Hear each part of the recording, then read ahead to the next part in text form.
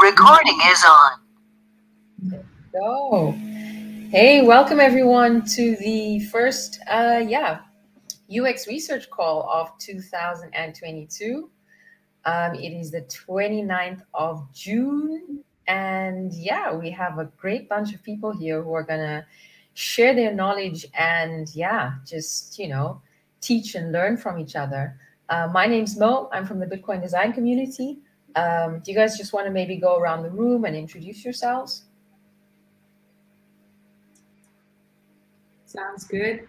Uh, my name's Jalissa. I I'm recently like started working in the Bitcoin scene. I've been with Amber, the Amber app, uh, Bitcoin only app for the last seven months. But I've had I've had an interest for quite a while, so I made the jump and haven't looked back. It's been a great experience. It's been awesome also learning from the Bitcoin design community here. Cool. You're you're pretty active as well. You know, you ask questions and stuff. That's really cool. Yeah. Yeah. It's definitely a good resource for sure.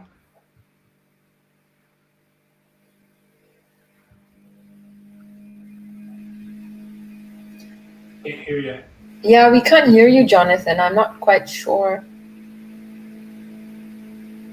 It's, it's yeah.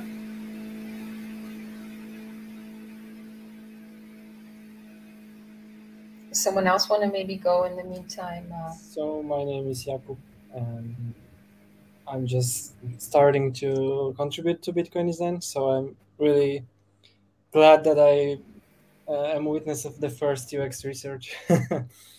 cool. cool. Yeah, welcome. Yeah, I guess I'll go. I'm, I'm uh, my name's Rick, and I've just been lurking in the uh, design community Slack channel here for about a year. And uh, I was telling Mo that this was one that actually popped up on a time that I could join at 2:30 in the afternoon for me. So, um, but I do UX UX design for my professional career, and I just have an interest in Bitcoin. So, uh, I thought it would be fun to join and, and hear what you all have to say. Yeah. Cool. Welcome. Are you working now? Oh, is your volume working now? I'm Jonathan. Or uh, are we good now? Yeah, good. Um, yeah, nice to be with you all. My name is Jonathan. I work as a senior UX designer for the Home Depot. Um, very passionate about Bitcoin. Really love, like you said, Rick, lurking around the Slack channel and seeing you know all the great work that's happening. Um, and yeah, yeah, excited to talk about you know research methods today. Yeah, I'm really keen on on on you know hearing. So we're gonna basically um, today we're basically going to be focusing on user personas as a way to guide the the UX design process. And Jalissa is going to share with us um, how they do that at Amber. She's very kindly volunteered to do that, just, you know, share something practical. And Jonathan was going to also share with us um, correct me if I say it wrong, maybe some other methods that he basically also uses to understand users on a deeper level. That's not necessarily user personas. Um, so really curious to hear from the two of them. Um, I did prepare a little bit of something on FigJam just to, um, I'm gonna just, just to do a really brief introduction. I am going to share the link because I'm a visual person. So, you know, like to keep things nice and visual. It's a document that we can all pretty much um, edit. It's completely editable. I will share my screen. Can everyone see my screen? Uh, we can see the chat and the, yeah, that looks like it. Yeah, is that good? Yeah. All right, cool. So I just had a bit of fun with this. Um, you know, I just was like, I thought user personas, it's just reminding us during the product development process, you know, that we're developing for humans, you know, really remembering that there's people behind those those apps and those um, desktop applications that we create. Um, and I guess every single um, user process uh, for creating personas is different. Um, but basically, the gist of it that I understood was we basically will gather data using qualitative research techniques. And that is basically, you know, talking to a bunch of people, doing some interviews, you know, the fun, interesting part, really connecting with the users. Um, what do we get out of that? We get this fictional profile, which is actually based on real data which basically represents a group of users with the same interests, goals, and characteristics. And then, you know, we have this little, this woman here sitting, and, you know, that's the individual user profile that we've created. And why do we actually do it? Um, I guess, you know, we want to build more empathy for our users in the, um, in the product development process. Um, and these personas are only really useful if they're actually based on real data that's actually taken from actual research and not based on assumptions. And then a very broad general example I gave is, you know, a basic profile would be give their role, their situation, their age, any user needs or goals that they have, and their current solutions and frustrations. And then this is the part where um, Jonathan comes in. What other research methods can we use to understand our users?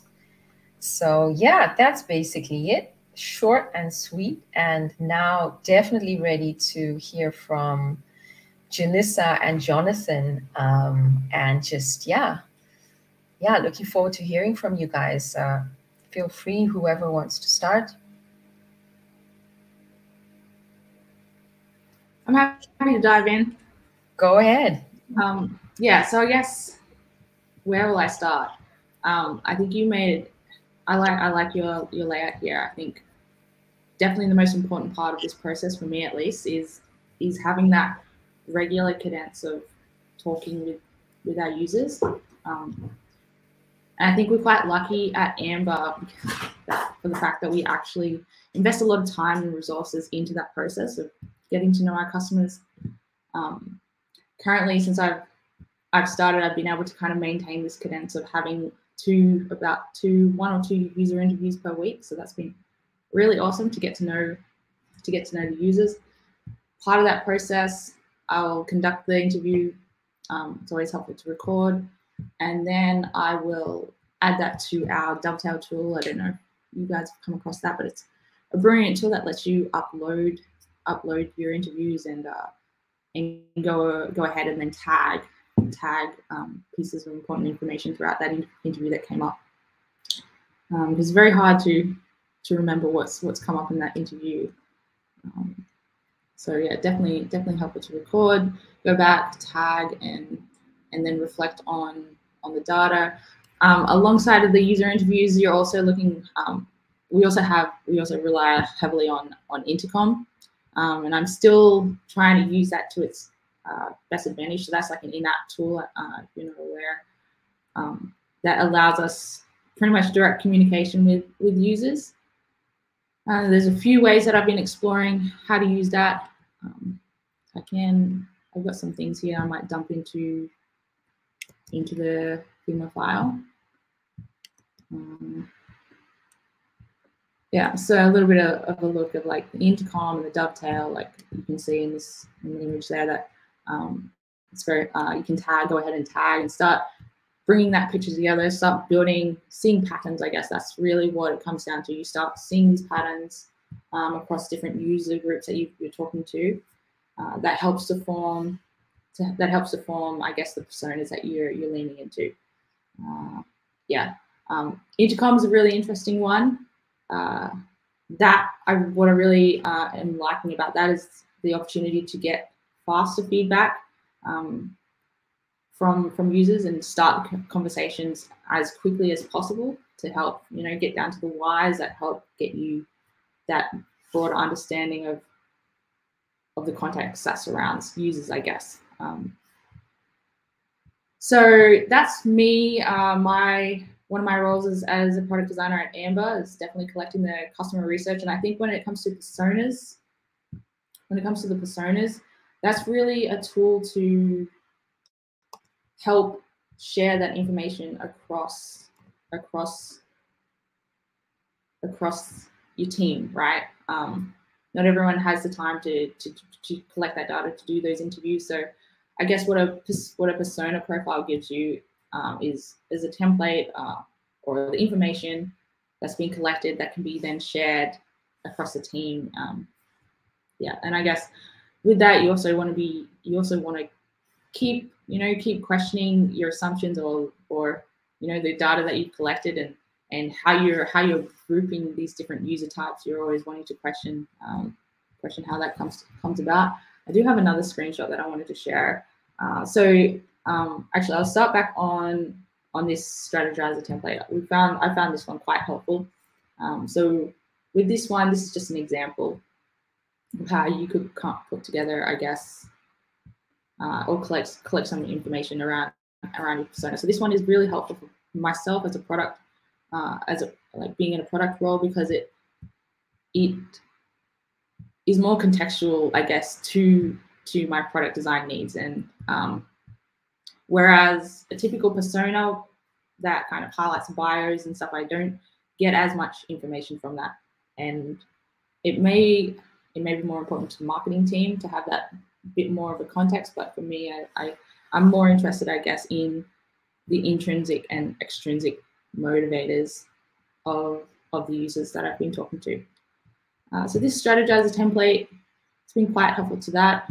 Um, so as I'm having these conversations, I guess what I what I'll do is I'll collect a massive data or key points. So what are the gains? What are the what are the things that I like? And this I'll be able to do in Dovetail. I can create categories. Uh, I can see what our customers are liking, where where the friction points are, what are they having issues with, and then also try and understand those those jobs to be done, uh, which is a section here. Um, jobs to be done. Yeah, and then it, and then from there, I guess you have you you'll start to see the different patterns. You could start to see, say, several different um, persona or or yeah personas that appear um, for Amber for Amber, on a broader scale, you've got the the, the newer Bitcoiners, um, and then on the other scale, scale of that, you've got the like the longer term Bitcoiners, and they're def- they they definitely have different different pains, gains, and and the jobs to be done, uh, like jobs that they're, that they're looking like looking to be solved, right? Um, with this, I've also kind of I think it's good to make it flexible to to your own needs. So I also like to consider the different the different quotes um, unique to that kind of group. Uh, this Jordan identity, um, I guess, what I've gathered from that, they're the longer term Bitcoiners. So some some of the things that some of the patterns, I guess, that that appear in that group user group is that uh, you know they're kind of disillusioned by by the government. So you'll see a lot of comments about about government and maybe they they're relying on alternative news sources and whatnot. Uh, but yeah, but what this gives me is just kind of a tool to kind of reflect back on, um, or or use persona details to directly impact how I prioritize uh, product um, or product or projects and whatnot. Uh, what else did I have to share? Um, but yeah, that's mostly it. I've, I've dropped those templates in there. Uh, they may be helpful. Wow, thank you so much for sharing that. I mean, that is brilliant. Do you have anything else to add or it's really nice. Thank you so much. Wow. There's another template that I, I'll share um, and that that also helps us communicate product with the marketing team based on our personas and it's probably a more typical persona profile that you've you've come across. Yeah. But yeah, that definitely helps uh, impact, I guess, the copy and the way you're communicating, the way you're communicating with users. Yeah, I don't know. Um, happy to answer any questions, but otherwise, mm, I think, yeah, this is it's definitely been uh, it's definitely more of an art form, I'd say, than than a true science for me at the moment. I'm always just trying to, I guess, uh, make sure that the data that I'm collecting is really helping to inform like different products to uh, or different projects to prioritize, I guess. The other thing I'll also comment on, which I think is important, is um, making sure that your user personas that you're identifying, like I guess there's a way to value them. Again, it's like your business, the brand needs, and the brand and the and the business goals, I guess. Uh, so, I mean, I guess a lot of Bitcoin Bitcoin only apps will come across like the trader types that are that will probably prompt you to or encourage you to add other other um, other coins and whatnot. But I guess if that, just as an example, if that doesn't align to your to your brand, that's not something something you're going to prioritize. I guess for sure. That's where the Venn diagrams help, I think. Yeah, this is great stuff. Yeah, I, I like how this uh, dovetail. You can have all your insights in one spot, and then you can uh, do a search based on a certain term, and then just have it right in front of you. Um, I, one of the questions I had was um, if maybe you could talk a little bit about kind of the catalyst for doing this type of research. Is it usually that there's like a feature you want to test on, or is it uh, have you been asked to just get mm-hmm. insights from the customer base? Um, whenever I've like conducted the user research, there's always like specific answers that I'm trying to get product related.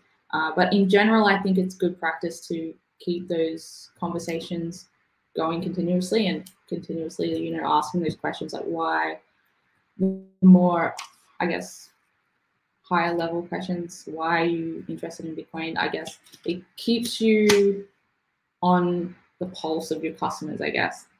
Weird, weird way to say it, but um, I guess you, you stay frequent with your customers, with your users. You know kind of what they're listening to, the, the different resources that they're leaning into, um, maybe community groups that they're a part of, uh, and all of that information. I think it comes together and helps definitely helps you have that this full context that's surround that's surrounding your user groups um, to help to help guide product for sure. Yeah, thanks. Hmm.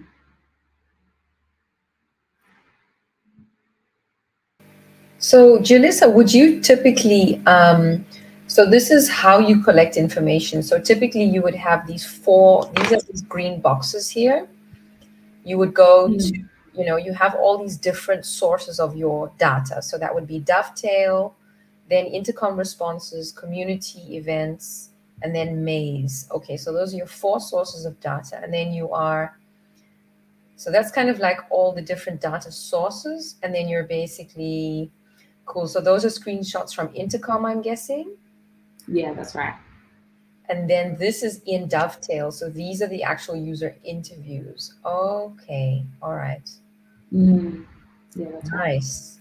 I like how you added in, so you created an image of this user persona, like a, just a cartoon image of him, and you basically placed them over all of the interviews where you felt like this person is that kind of. Yeah.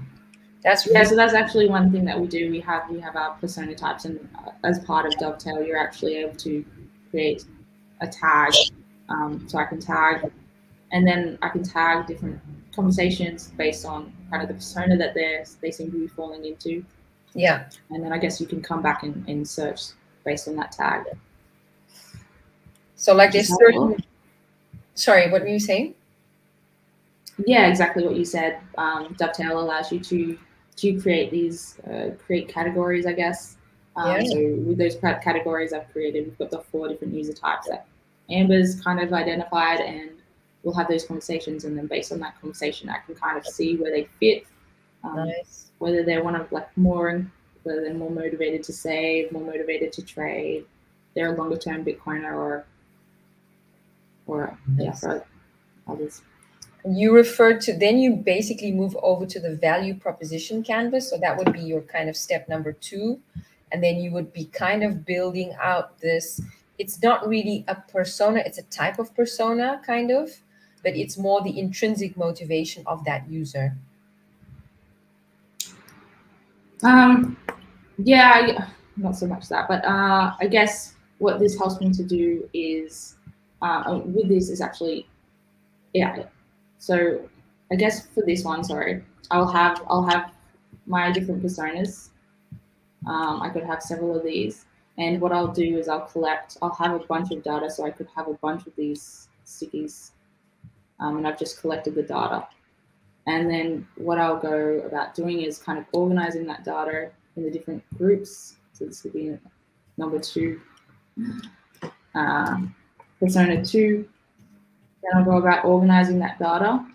Um, they could cover multiple personas.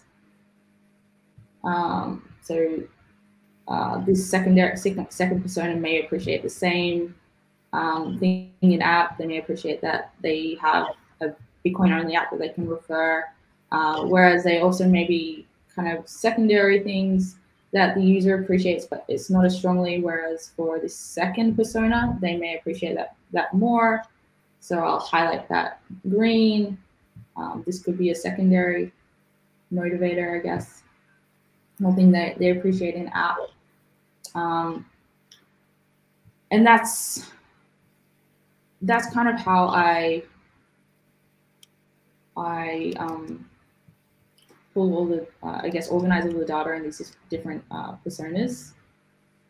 Again, like you could have, you could have something uh, that a user appreciates, whereas another user, it might be a pain for them, just as an example. Um, they may, like uh, uh, someone newer to Bitcoin, may find friction in trying to use our fee toggle um, and then I can connect that to a user quote or something like that. Yeah, that's more of a, a practical kind of way of how I I can use this um, value proposition canvas. So it's almost like you've tweaked the traditional user persona setting to be more suitable for specific changes within the actual app itself. It's, and that's uh, you kind of do it this way. Yeah, definitely. Um, I guess we do have personas at Amber, but I um, and I can give you a screenshot of kind of a draft that I, I've got here. But I find these I find these much less helpful. Mm-hmm, mm-hmm. I guess. Um, I guess I could I could jump in here and um and edit these quite a bit or update these quite a bit. But I guess motivators, when I when I see lifestyle change and enlightenment, it doesn't give me much. I guess a whole lot there to work with. Um, if it was more product specific, specific, I guess that's probably something we could look at doing is kind of making this relate a bit more to Amber and the product, the app. Yeah. But yeah, that's kind of where we're where we're at, and I'm definitely still still uh, learning and still trying to work out how to, I guess, best uh, collect and then and then formulate or understand understand all the all the data that we're collecting from users and and yeah, I guess use that to solve to solve unique user problems and hmm. but it's a good process. So after you finish, after you have like let's say three of that personas on this canvas, do you fill the left side as well? Like, do you? Uh, uh yeah. It works like you on the right side you identify, you know, pains or or gains, and then on the left side mm you kind of try to find solutions who either creates create gains, right? Yes. Are like features in the app or that create these gains, or uh, are features in the app or redesign of the app or design of the new app that uh, answers the the relievers, right? Uh, yeah, exactly. So, so hmm? yeah, sorry. No, I just wanted to ask uh, because I didn't get if you if you also like uh, feel that or you maybe try to because I guess it's different. Mm -hmm because I encountered the value proposition canvas like uh, at the postgraduate studies of UX, and we did it like you know before there was like in the early stage of let's say product. So I wonder because I guess you when you when you're when you're doing that, it's you're doing that with an app already uh, on a different stage of research and different you know basically different research, not like on the beginning of the product. And and yeah, and so maybe my question is so when you fill the left side, do you feel that separately also for each persona, or perhaps you want to find a common? I don't know. Um, with our left side, it's we've already we've already filled that out, so we're already we already understand our we already understand like our pain relievers, gains, and gain creators, and then and then I guess what this kind of gives us for as an example um, with this particular persona, they have an asset that they're well, they're actively looking for. Um, they're actively looking for a leverage product to buy more Bitcoin. So that may influence a a gain creator that we may look into, or or one of those, or I guess that yeah that may that may um that may help us decide like where if there's a product that may fit in with what we've uh, what we've put over on this left hand side.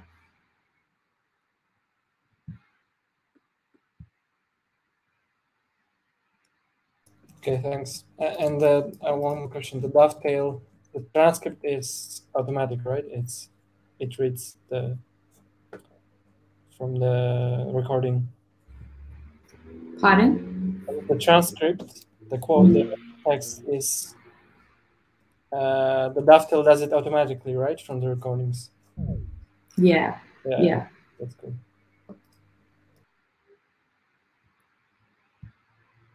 Really nice, Jalissa. It's so interesting to see how you've kind of, you know, just almost yeah, it's you've it's a slight modification of the traditional user persona process because you know, it's speaking to the users on a consistent basis. You say you speak to at least two users a week. And then you're constantly updating this value proposition canvas, I guess. Um, and then how would you, what's the next step? So you kind of have these pains um, and these gains. So, you know, all these on the right side of the canvas, you have all of these little post-it notes and then how are you basically communicating that back to the product development team? How does that move back into the actual UI or, you know, product development process?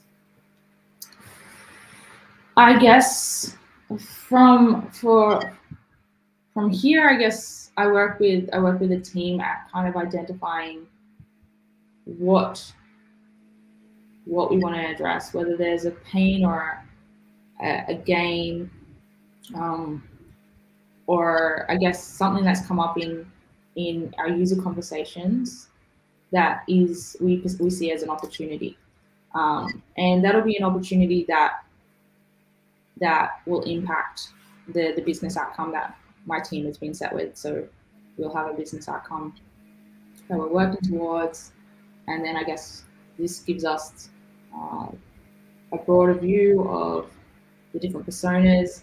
Um, and from that, I guess we're also identifying what opportunities there are and in what persona that opportunity really, who that really relates to.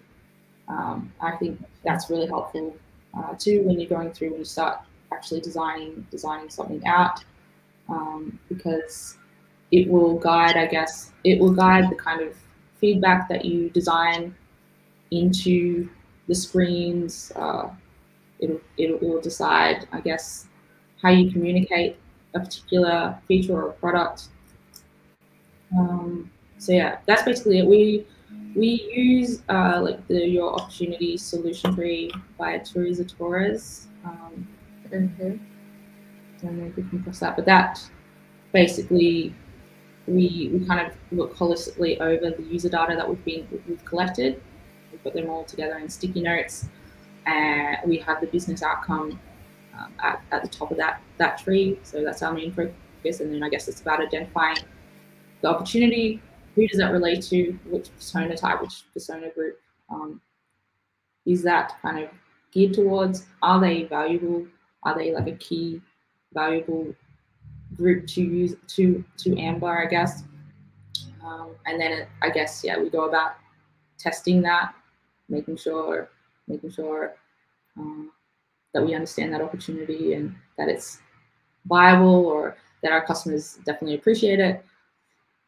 Um, yeah, uh, a bit of back and forth of testing, and then I guess ultimately something comes through. I guess hopefully, and and then you go into the you go further into the design process. And I guess I lean more into I, I lean into these personas, um, especially I guess uh, the dovetail interviews that I've had to I guess better understand how the different copy that I'll include throughout the process.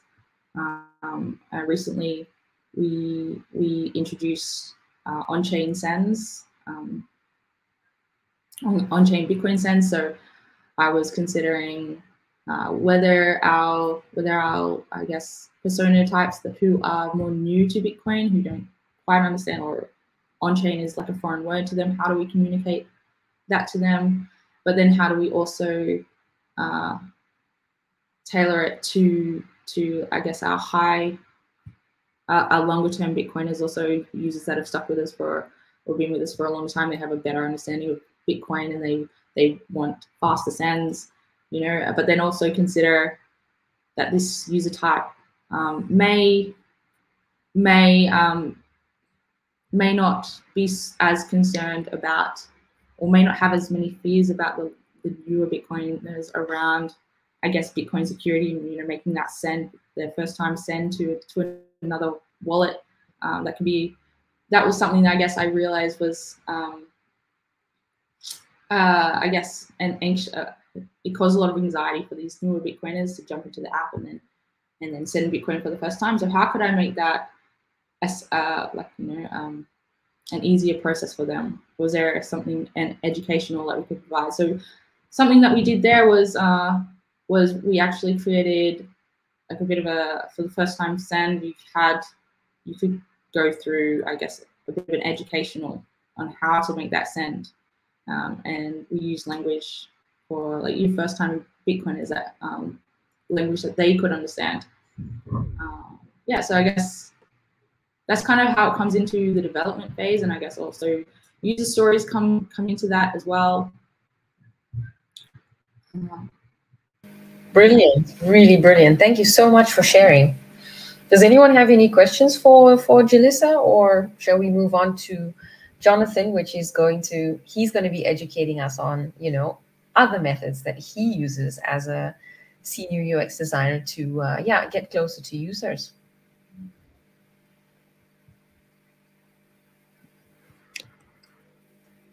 No, all right uh, Jonathan, feel free to. Thank you very much, Jalissa. So, yeah, if anyone has any questions, anything comes up for Jalissa, feel free to ask her. But um, oh, Rick would like to speak. Okay. No, I was uh, just trying to give a thumbs up, and it was a raise my hand and said sorry. All right. Cool. Okay, Jonathan, please share. You know, share. You know, any methods that you've used. We're all ears. All right. Um, firstly, I'd like to say that I feel woefully unprepared. I feel like Jalissa, you you hit it out of the park. You brought all your screenshots and everything. I, I was really just kind of aiming to talk about some alternative methods, some some of which you mentioned, like jobs to be done. But while we were talking, I did manage to just Google some pictures just for reference so that we can know what I'm actually referring to. So having said that, I'll go ahead and put some of the reference material over here. Um, I just wanted to begin by saying that like I am by no means like against personas, their usage or, you know, like how they bring value. Um, the perspective that I'm going to share is just in the companies that I've worked for, our our timelines and our you know just really our UX kind of procedures have dictated that I, I haven't used them much and instead have used some other things. Um, one of them that you mentioned, Jalissa, was uh, jobs to be done. So just a quick reference for that. here's kind of a diagram of some of the thinking about jobs to be done, how it is divided.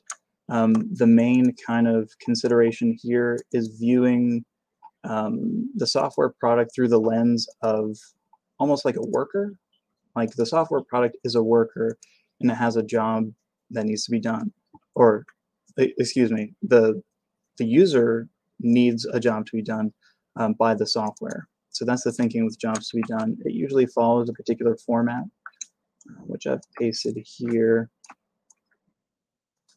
Um, so an example would be keep my feet warm in the winter when I work outside. So there's um, the action that the software is doing, what it's acting on, and also a context, which it's sometimes referred to as a clarifier. Um, these can sometimes have like an emotional dimension to them, as you can see in this graphic here. So there is potential for understanding the user um, on an emotional level and, and to empathize with the user. Um, the main thing here, though, is that it's very um, direct. Its its object is to try to get down to um, the core functionality that the piece of software needs to be able to perform in order to actually serve the user and their need. So the central question being, you know, how do we understand and how do we document user needs?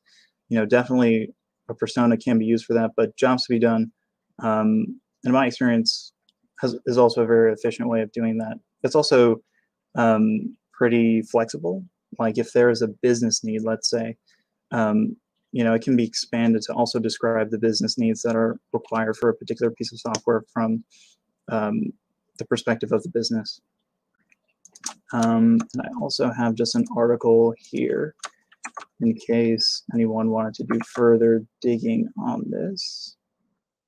Um, jobs to be done, how they relate to personas. Like I said before, um, you know, I think it's it's pretty clear that they're not like a replacement for personas. Um, there is that dimension of building empathy that is lacking in this exercise, but it is something that also um, gets at the idea of what are the user's needs. Um, any questions on that before I, I moved on to the next artifact? I do have a question. I find this um, really interesting. Um, so basically, the jobs to be done is another way of getting data to decide what job this jobs the software needs to do. So Okay. And then you have main job to be done, related jobs to be done. So how are you collecting this information? How do you collect this data? Sure. So on the front end of the research process, you know, what I've seen um, in various organizations is very similar to what Jalissa described in the beginning up front over here about having interviews. And I definitely second that statement of, you know, the more regular, more frequent your exposure to the user group is, the better. Um, most of my experience is in enterprise UX. So most of the research that I've done isn't really interfacing with consumers. It's more like internally facing employees who are using, you know, software in the case of like the Home Depot um, in the store or in the corporate office. So we tend to have a very close relationship with our user group. And, you know, since they're Home Depot employees, we can reach out to them, we can IM them. Um, and it's very easy to set up regular meetings and interviews. So the, the front end processes, I would say, look very similar. As far as the tooling, it, it was cool to see a lot of these tools. Um, currently, we use a, a, tool called EnjoyHQ. I can write that down over here. But this is another uh, software tool used to kind of collaborate and also collect data um, that has been gathered in the research process. So, so that's the front end I would say is very similar to the process that Jalissa described. And then here with jobs to be done, it's more a question of how do we condense the information and how do we um, share it out and document it in an artifact that is, um, you know, understandable and, you know, it, it's a, an efficient way to communicate those research insights. Mm. Very nice. Thank you. Sure. Um, the next method and kind of dovetailing off of that same point of, you know, collecting the research insights, collaborating on them, and then sharing them out is really just um, like a, a, slide deck. Um, and in various places, these are called different things. So, um, like they might be called a readout, or you know, just a like a, an explanation of what was found out during the the actual research process. I, don't have any screenshots from from some that I um, worked on, but just, just for the sake of having a visual, you know, just um, a deck that has, you know, quantitative and qualitative data about what you collected. Depending on the scope of the project, you know, these are a lot of times more warranted if the research project is, you know, very large in scope. If it's like a new whole app or a new piece of software that's being developed, you know, it will oftentimes warrant a more thorough research process and then readout or presentation when it comes to communicating and documenting the findings. Um, so I would say that is another thing. Just a side note that kind of occurred to me just now is that working in enterprise UX, it's often the case that user groups are very small. So that's another reason why that we've perhaps strayed away from personas. So, you know, if if the user group is you know five or six people, we tend to know their names, know those pieces of demographic information, and I think in those scenarios it makes less sense to make a, a persona where those things are, you know, they're already known from the real people themselves. Um, but on to the last um, kind of artifact that I was going to mention, and I think this this ought to be really familiar, but just um, the user story. So here's an example of the template for a user story. It's usually communicated in this fashion of as a particular type of user, and that might be seen as a proxy for different kinds of personas. So like a new user or a pro user, um, I want, and then a statement of the functionality or the need, and then so that so that um, the value or the benefit can be described as to you know what that piece of software is actually doing to address the need.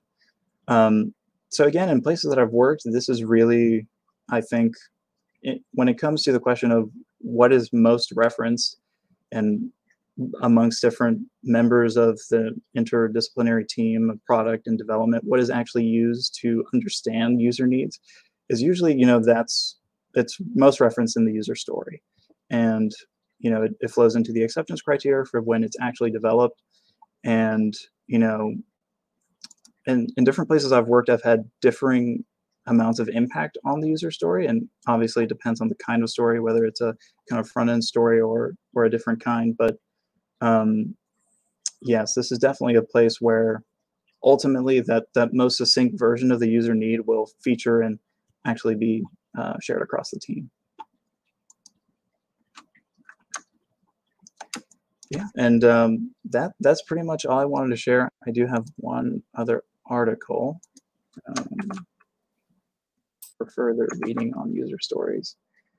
Um, but yeah, that's that's pretty much uh, the major areas I wanted to cover. Are there any questions about any of this?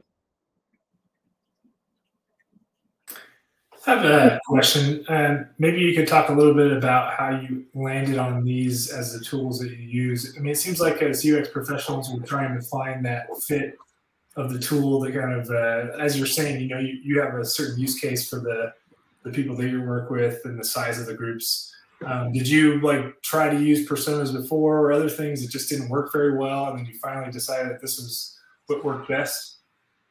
Yeah, I mean, I would say ultimately it's like an organization decision, and like in in one of the companies that I've worked for, it was a very small UX group, and you know we are very close with the manager, and and we could have more influence over the direction. And in that company, we did make a persona once. And what I would say is that from our own experience and just in that environment, obviously, if you have a company that is more used to dealing with personas and is expecting them and kind of knows what to do with them. I would say for our part, when we actually developed that persona, it was not heavily used or referenced among the different members of the development team, like between product and between uh, development.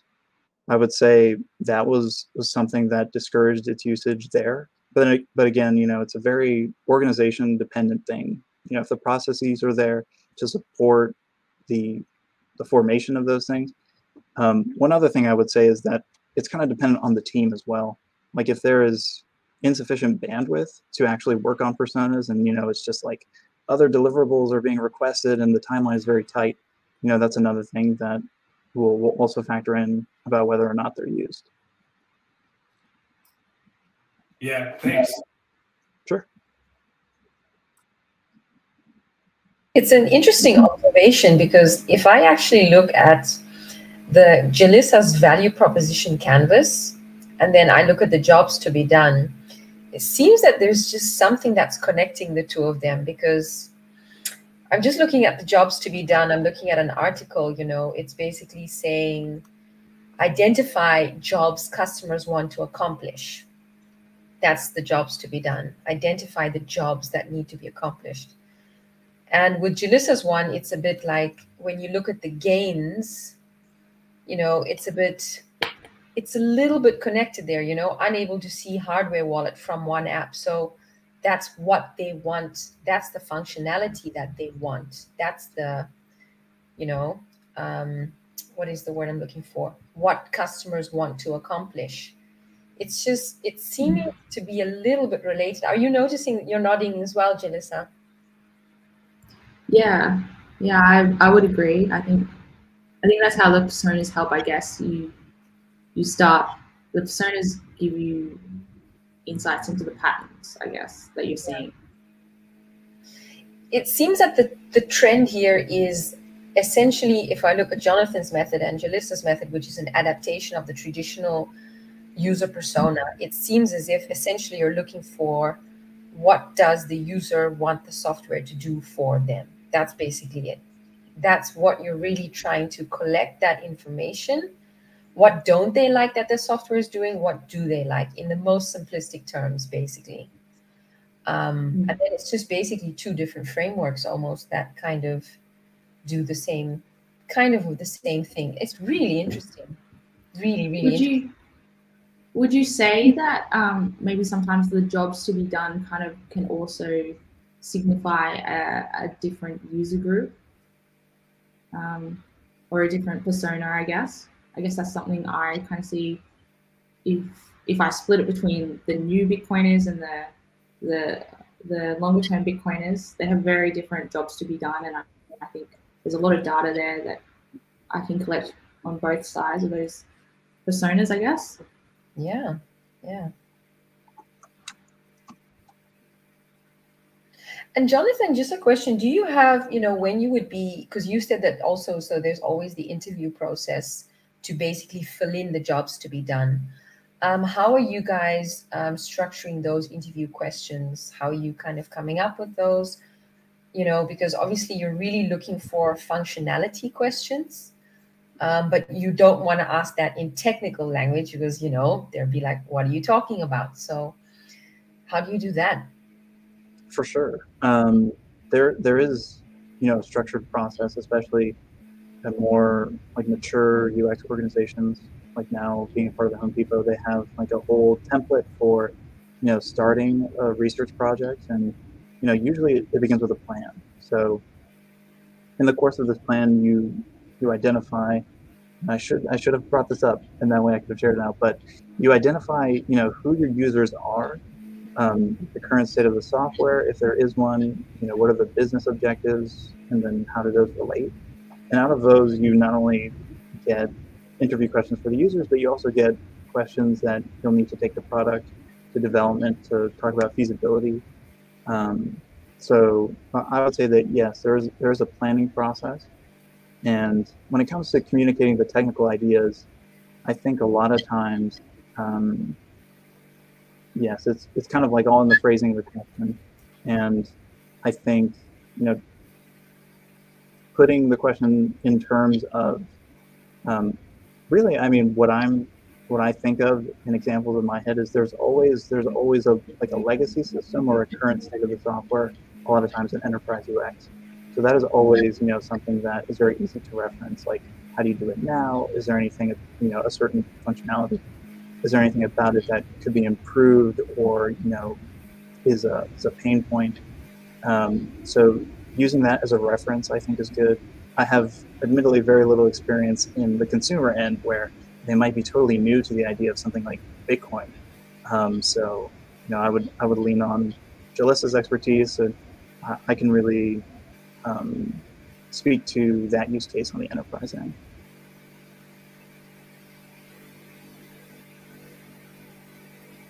Nice, very nice. Wow, this has been. Are there any questions?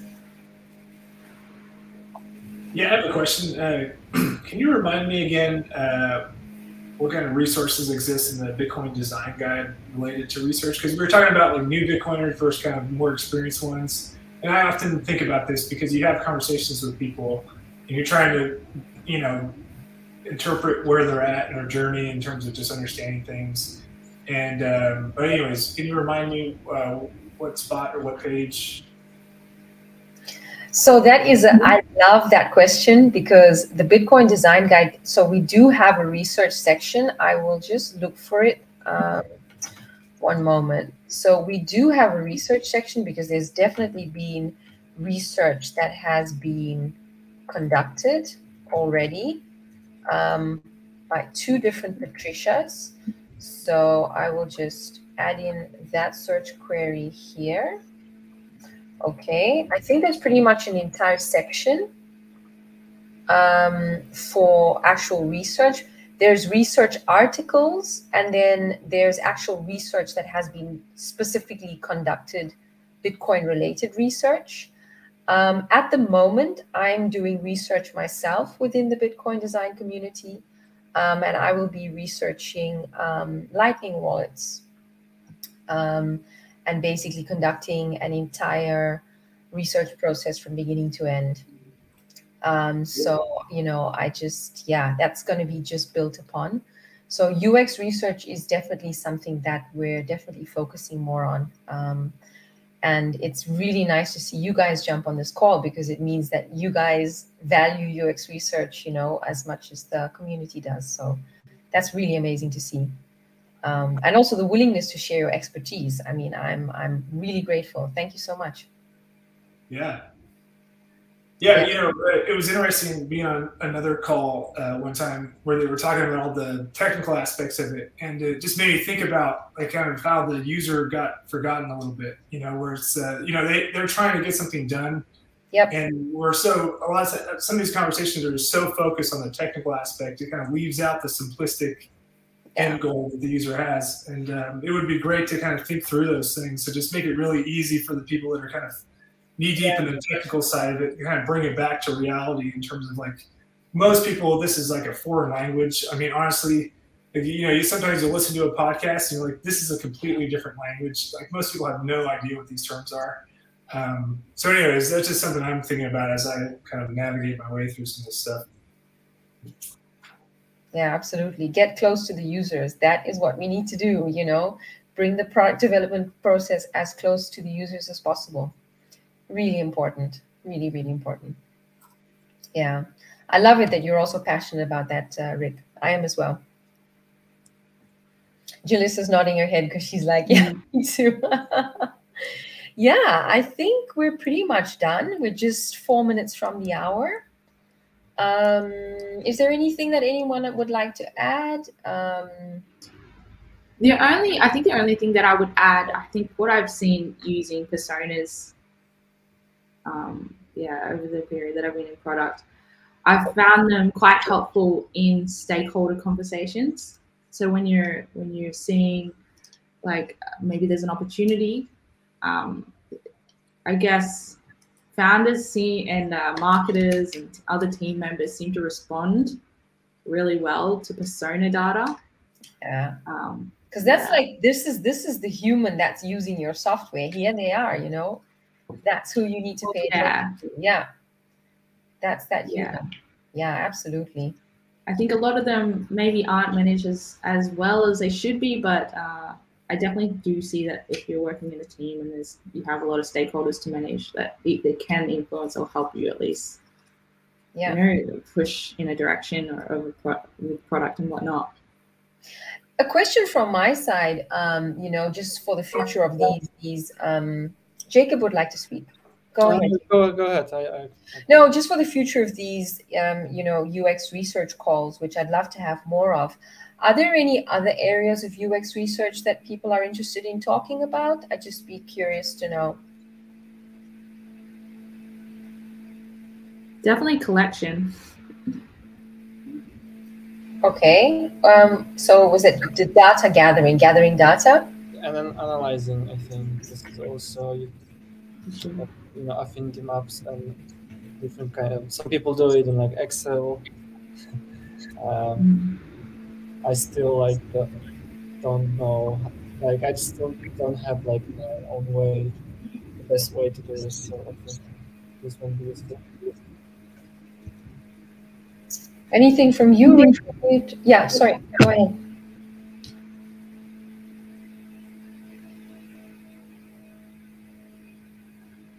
Anything from you, Rick, that you want to learn more about? Uh, no, I don't think I have anything specific.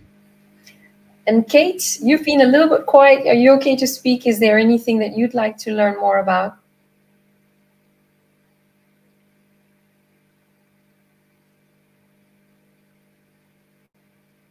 Testing based off data collected, maybe. Okay. Testing based off data collected. Could you elaborate on that, um, Jalissa? I guess like I guess one of the things that I'm struggling with is I'm collecting all of this data. I'm getting all this. Uh, I'm seeing all these opportunities come through the user interviews and whatnot. But then, how do I actually go about? I guess finding uh, like a, a test um, that's not going to, I guess, cost the business too much. Not going to cost too much team resources. That could either validate and disprove or, uh, or prove I guess, a hypothesis that I've made from the data that I've collected. Got you. Yeah, you know, one thing I just thought of was, uh, you know, Jalissa had Maze on there as one of the tools that she uses. And it, it might be interesting to explore using Maze with some of the, uh, you know, the prototypes have been built for the design guide in terms of like, you know, that's one thing that seems like Maze does pretty well. Like, do people get it at all? Like, you know, there's certain things that you need to get done with an app, and do they understand it at all enough to just get that task done? Um, because you know a lot of this stuff is new, and uh, even just accomplishing that baseline understanding would be a positive. positive, and knowing if it, what percentage of people, I don't know if we would have enough users to really get uh, reliable data on that, but anyway, I just had a thought. Yeah. So basically exploring some of the prototypes and then using Maze to do that. All right.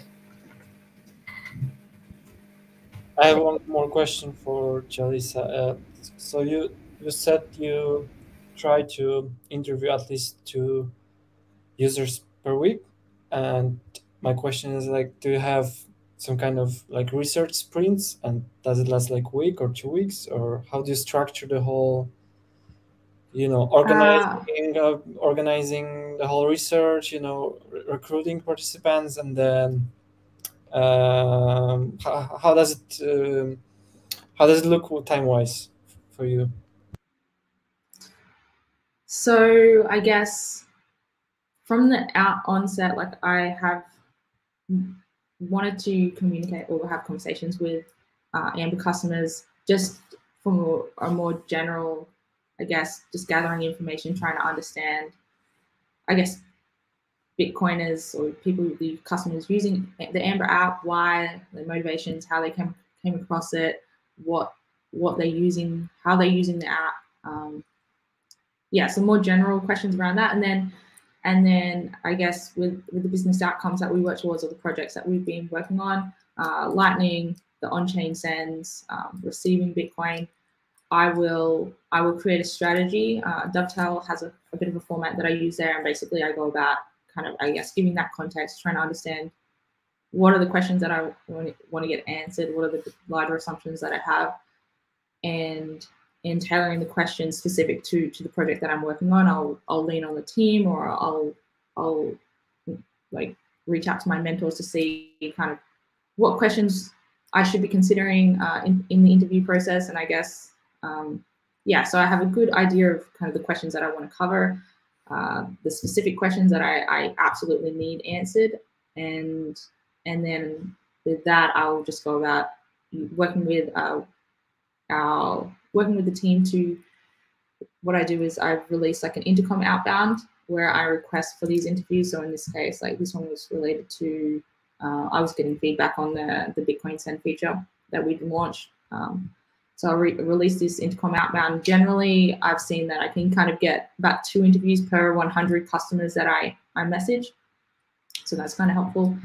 And yeah, I use Calendly to, to get them booked in. So you tap tap this link, tap the button here, and then uh, and then I'd have people directly booked into my calendar link. So it's quite, it's, I found it's super easy. It's really easy for me to kind of gather the research, get access to customers as quick as possible. I'm still wanting to reduce that time frame of like wanting the feed, wanting the wanting answers, I guess, uh, closing that gap. Um, that's where I think